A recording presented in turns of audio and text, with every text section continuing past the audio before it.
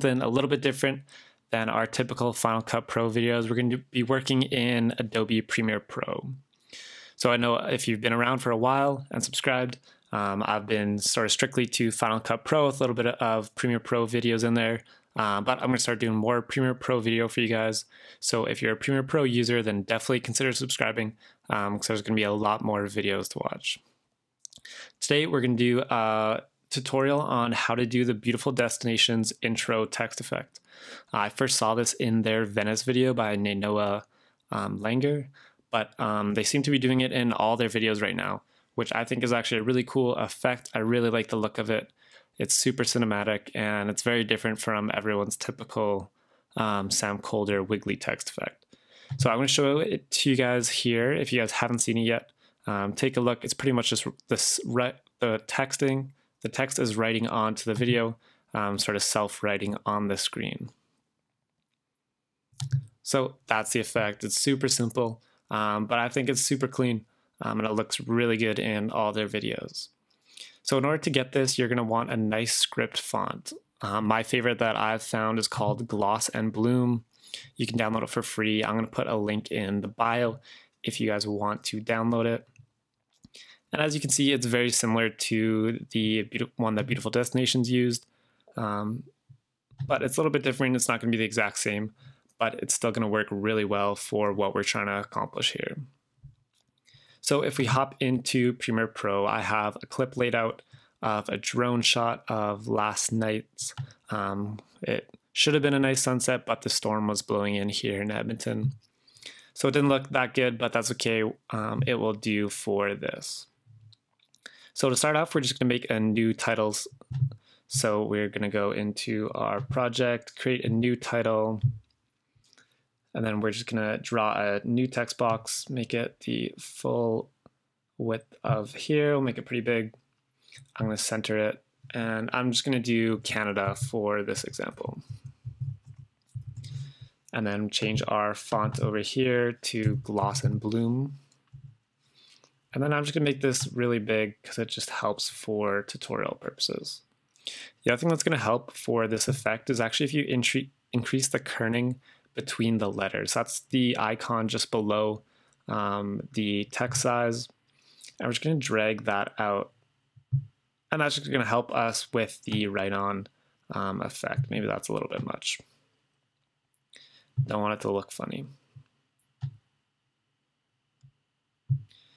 And just space that just like so. And then I'm going to bring this down just so we can see it a little bit easier in the frame. The other thing that's going to help for this is just change the color um, temporarily and we can change it back at the end. Um, change it to something really bright. So I'm going to do lime green, for example.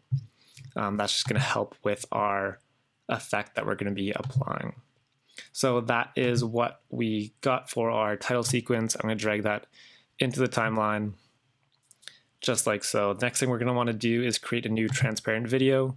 So again, new item, transparent video, and then drag that over top of our title sequence. The next thing that we're going to do is we're going to apply the write-on effect um, straight onto the transparent video. So if I just bring up my effects here, just type in write-on. That's going to be under video effects, generate write on. And we're going to apply this to the transparent video here.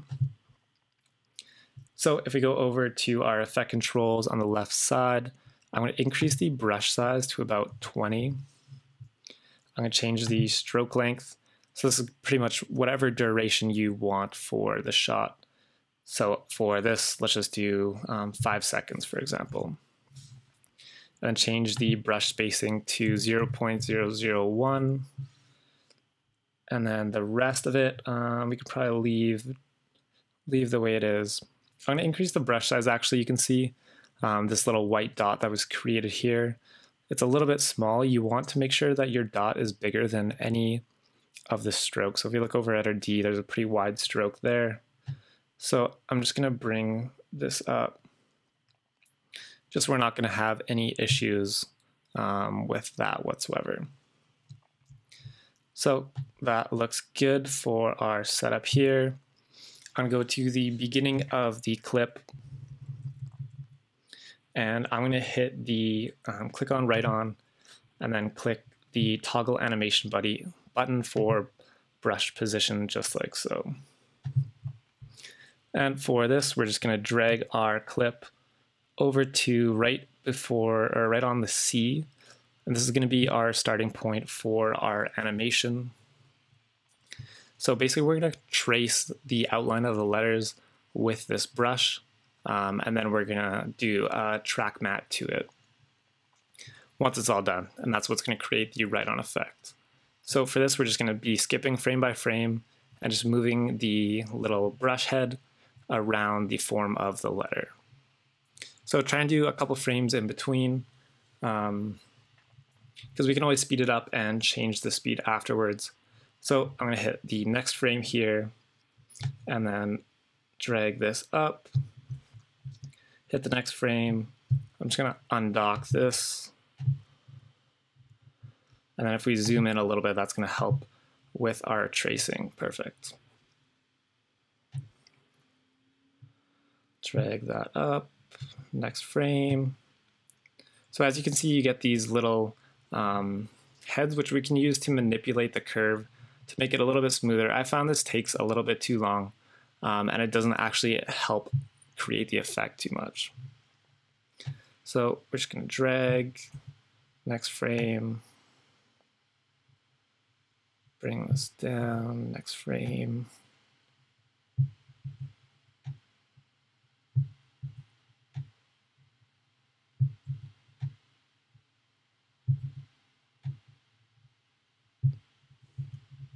And as you can see, we're hiding the text, and that's exactly what we want for this effect.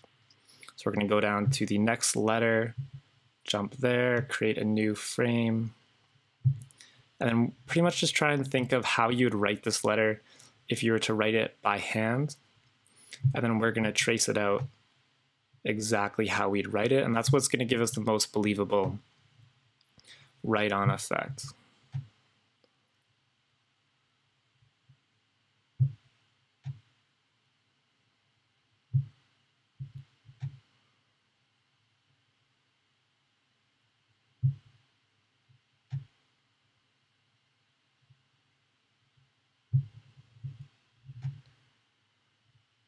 So I'm just going to fast forward this till we get to the end, um, and then we'll show you the next step after that.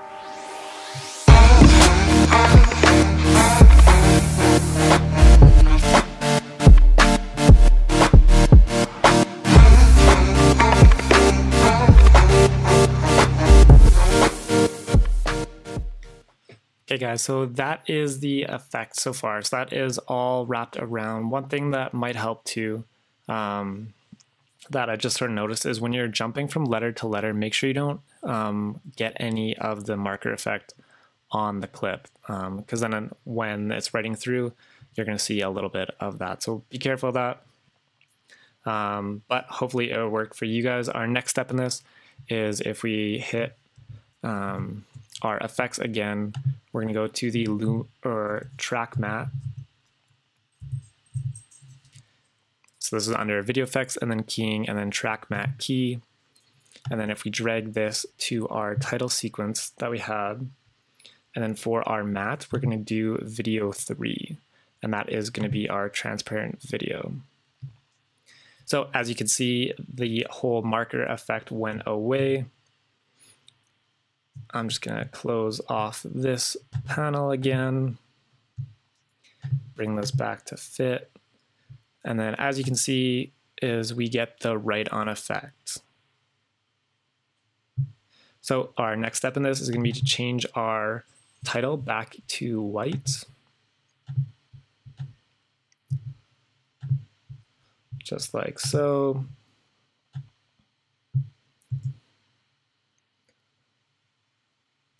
And then boom, there is our write on effect. Um, another really cool effect, if you want more details in this, is to add a little bit of a scribble um, sound effect underneath for this title sequence. It'd be really good if you record your own audio of you writing the letters, because then it sounds um, just like the writing would. If you use a big Sharpie or something, it's going to make a lot of noise. That is really going to help. But that is how you guys do the beautiful destin- destinations intro text effect. I hope you guys found this useful. Um, if you did, please consider liking this video and subscribing because it really does help me out and I do appreciate it. Thank you guys for all support as always, and I'll see you guys next time.